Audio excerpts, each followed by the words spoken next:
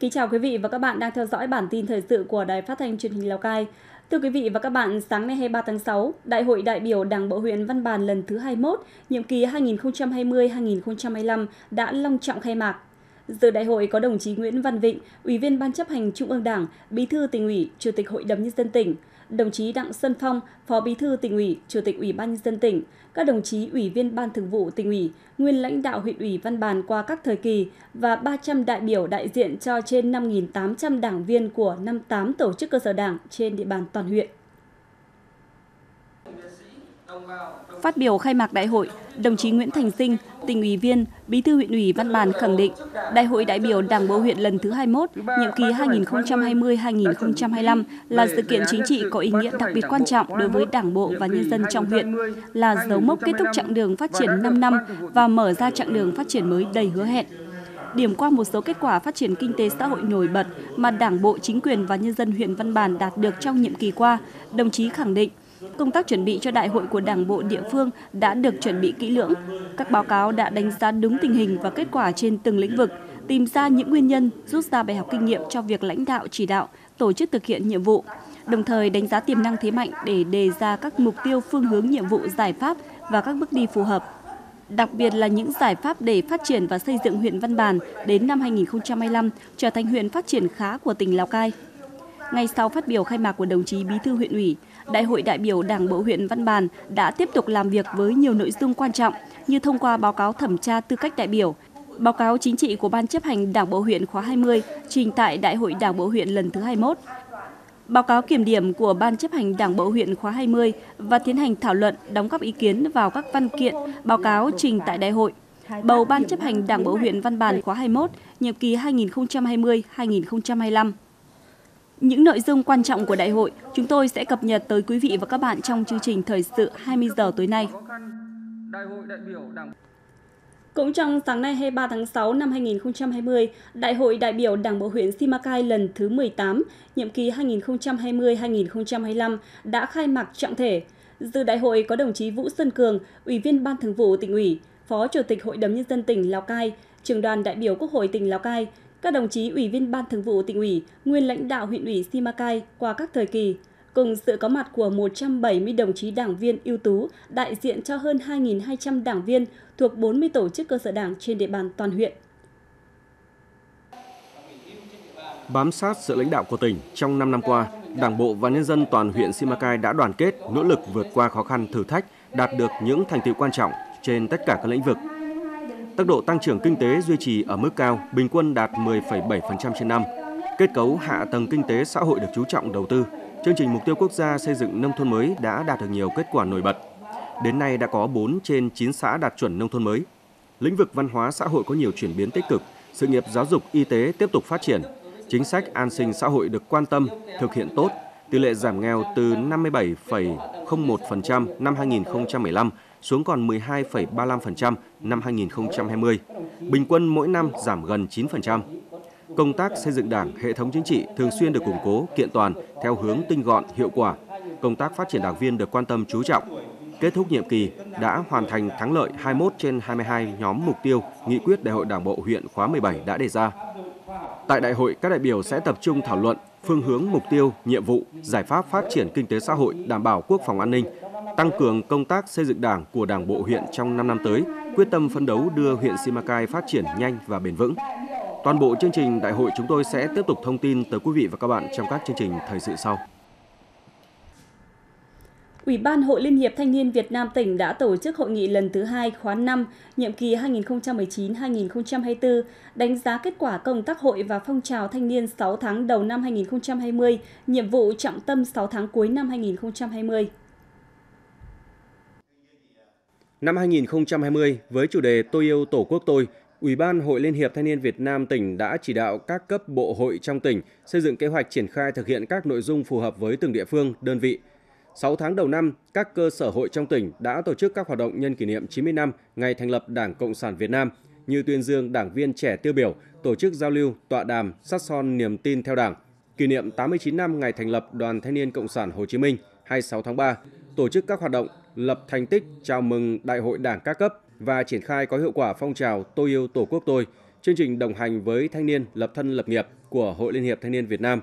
tổ chức thành công chương trình hoạt động tình nguyện vì an sinh xã hội, vì cuộc sống cộng đồng, sung kích đi đầu trong phát triển kinh tế xã hội và giải quyết việc làm cho hội viên thanh niên với nhiều kết quả nổi bật. Tại hội nghị, các đại biểu đã thảo luận, tham gia đóng góp ý kiến vào thực hiện nhiệm vụ trọng tâm 6 tháng cuối năm, trong đó đưa ra các giải pháp nhằm thực hiện có hiệu quả chiến dịch thanh niên tình nguyện hè 2020, tổ chức các hoạt động tư vấn hướng nghiệp, dạy nghề cho thanh niên, hỗ trợ thanh niên vay vốn học nghề, giải quyết việc làm, tăng cường các hoạt động liên kết với các trung tâm dạy nghề và giới thiệu việc làm thanh niên, tổ chức các hoạt động hưởng ứng tháng an toàn giao thông, tổ chức đồng loạt Ngày hội Tôi yêu Tổ quốc tôi. Tại hội nghị, Hội Liên hiệp Thanh niên Việt Nam tỉnh Lào Cai cũng đã tổ chức ký thỏa thuận chương trình hợp tác chuyến xe nghĩa tình cùng công ty cổ phần Net Group và tổ chức ra mắt văn phòng làm việc câu lạc bộ thanh niên khởi nghiệp tỉnh Lào Cai. Thưa quý vị và các bạn, môi trường được đánh giá là tiêu chí khó thực hiện trong xây dựng nông thôn mới, đặc biệt là ở vùng cao. Nhận thức rõ khó khăn này, tỉnh Lào Cai luôn chú trọng vận động người dân các địa phương chủ động tích cực thực hiện phong trào vệ sinh môi trường nông thôn. Chính bởi vậy, đến nay toàn tỉnh đã có 57 xã đạt chuẩn tiêu chí môi trường trong xây dựng nông thôn mới. Nghĩa trang tập trung là một chỉ tiêu khó đối với rất nhiều địa phương khi thực hiện xây dựng nông thôn mới do diện tích đất lớn và phải đảm bảo xa khu dân cư, xa nguồn nước để không ảnh hưởng đến môi trường sống chung. Tuy nhiên, cách đây hơn 2 năm, tiêu chí này đã được xã Liên Phú, huyện Văn Bàn thực hiện thành công. Có được kết quả này là do gia đình ông Vương Văn Thu ở thôn Rằng đã tự nguyện hiến toàn bộ diện tích đất thổ cư và đất vườn tạp rộng gần 1 hecta để xây dựng nghĩa trang, góp phần giúp Liêm Phú về đích nông thôn mới vào năm 2019 vừa qua, trước một năm so với kế hoạch. Chương trình um, chuẩn nông thôn mới đấy, là tôi cũng có suy nghĩ về là những cái um, quy tập lại những cái nghĩa trang nó kia thì tôi cũng hiểu rồi. Thì là nó không ảnh hưởng đến uh, môi trường không ảnh hưởng đến nguồn nước. Thì là um, gia đình chúng tôi cũng chưa trồng cái gì cả. Cũng chưa sử dụng cái gì cả. Đấy, tôi nghĩ như vậy là tôi sẵn sàng là tôi hiến cho xã để quy tập lại cái cây trang cho nó khang trang và đảm bảo môi trường Đấy, xanh sạch đẹp Cùng với việc tích cực tham gia thực hiện tiêu chí môi trường chung, người dân cũng đã tích cực tham gia giữ gìn vệ sinh môi trường sống trong gia đình. Đây là mô hình xử lý chất thải chăn nuôi của gia đình chị Lô Thế Mới ở thôn Pở Hồ, xã Thanh Bình, huyện Mường Khương. Toàn bộ chất thải chăn nuôi được chị dọn cho vào một hố ủ cho hoai mục, trộn thêm chấu để làm phân bón phục vụ sản xuất nông nghiệp. Còn nước rửa vệ sinh chuồng trại được chị dẫn xuống một hệ thống bể chứa riêng để không chảy tràn ra môi trường. Việc làm này đã cùng lúc mang lại rất nhiều lợi ích cho gia đình chị và cả cộng đồng. So với trước đây là mình thường hay chỉ dùng phân hóa học trồng thì bây giờ nó sẽ bảo vệ là nó sẽ giữ đất hơn. Đất nó sẽ màu mỡ lên mà nó sẽ không bị bạc màu đi. Với lại ờ, trồng như thế thì nó sẽ sạch và an toàn, nó không bị ờ, có chất hóa học các thứ. Mà cây trồng vẫn rất là tốt nữa. À, cùng với đó thì môi trường của mình có được đảm bảo hơn không ạ? Có vì mình làm như thế thì mình không đổ phân ra môi trường thì tất nhiên là môi trường nó sẽ sạch, nó sẽ đảm bảo và không bị ô nhiễm, không ảnh hưởng đến cái khu sinh hoạt của mình. Thêm vào đó, phong trào trồng hoa, cây cảnh để làm đẹp không gian sống chung ở mỗi thôn bản cũng đã diễn ra khá sôi nổi. Tuyến đường hoa lung linh và rực rỡ sắc màu ở thôn Làng Kim, Làng Bản, xã Quang Kim, huyện Bát Sát được hình thành lên từ rất nhiều công sức và tâm huyết của bà con nhân dân dọc hai bên đường. Nhà nước và nhân dân ờ, cùng hỗ trợ để đầu tư tuyến đường và đã thực hiện được bê tông hóa thì chúng tôi muốn là ờ, nhân dân địa phương ở đây là muốn trồng hoa và chăm sóc cho tuyến đường nó đẹp hơn. Nên chúng tôi cũng không thể tốn nhiều công để chăm sóc nên chúng tôi lựa chọn cây đó là cây cỏ lạc và cây hoa ngũ sắc để trồng để cho ờ, hoa nó sẽ được lâu dài thường ờ, không phải chăm sóc nhiều thường xuyên. Với sự đồng tình ủng hộ của người dân, đến nay toàn tỉnh có 57 trên 127 xã đạt tiêu chí vệ sinh môi trường trong chương trình xây dựng nông thôn mới, đạt 148% mục tiêu đề án số 10 của tỉnh ủy Lào Cai về tăng cường công tác quản lý tài nguyên, bảo vệ môi trường và ứng phó với biến đổi khí hậu trên địa bàn tỉnh giai đoạn 2016-2020. Thưa quý vị và các bạn, thực hiện đề án chuyển dịch cơ cấu kinh tế theo hướng giảm nghèo bền vững của huyện Mường Khương giai đoạn 2016-2020, Năm 2020, huyện Mường Khương đã triển khai dự án trồng rau trái vụ 20 ha tại 6 xã. Sau hơn 2 tháng trồng chăm sóc, đến nay cây rau trái vụ của huyện đã cho thu hoạch với năng suất sản lượng tương đối cao gia đình bà Vàng Thị Mai thôn Xà Trải, xã Pha Long đã chuyển đổi 2,5 hecta đất cấy lúa vào trồng bắp cải trái vụ trong năm 2020. Trong thời gian thực hiện mô hình, bà Mai và các hộ dân được cán bộ Trung tâm Dịch vụ Nông nghiệp hướng dẫn kỹ thuật trồng các loại rau, cách phòng trừ sâu bệnh theo hướng an toàn sinh học. Hiện nay, diện tích bắp cải đã cho sản lượng tương đối cao. Trừ chi phí, gia đình bà Mai cũng có thể thu lãi khoảng 50 triệu đồng một hecta. Vụ rau trái mùa này thì à, đấy lúc đầu tiên thì cũng ờ, bỡ ngỡ, cũng không có kinh nghiệm. Nhưng mà dần dần sau này thì cũng ờ, chăm sóc tốt đấy. Vì những cái khâu chăm sóc thì ờ, bây giờ chúng tôi đã được thu hoạch rồi thì thì cũng thấy um, cũng rất là có hiệu quả. Nên dân thì cũng từ giờ trở đi là dân sẽ cứ cái thế mà thực hiện và vụ sau nữa thì chúng tôi sẽ cũng tiếp tục để, để trồng thêm nữa. Sản phẩm rau bắp cải trái vụ của huyện Mường Khương hiện nay đang được Hợp tác xã Cao Sơn thu mua với giá bán tại ruộng là 5.000 đồng một kg. Hợp tác xã Cao Sơn đã triển khai thiết kế mẫu tem dán trên mỗi sản phẩm, giúp người dân có thể truy xuất được nguồn gốc nông sản này. Đồng thời khuyến khích bà con tiếp tục mở rộng diện tích với quy mô hàng hóa, cam kết sẽ bao tiêu toàn bộ sản phẩm do bà con sản xuất ra. Tôi cảm thấy là bắp cải rất đạt tiêu chuẩn để mà xuất khẩu sang Đài Loan, sang các thị trường à, ví dụ Đài Loan hoặc là Nhật. Thế thì ờ,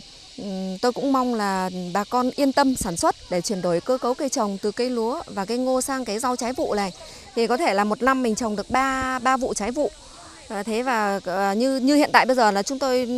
kiểm tra là khoảng được 30 đến hơn 30 tấn một ha. Thì bà con làm sẽ gấp gấp 3 lần đến 4 lần cây lúa và cây ngô.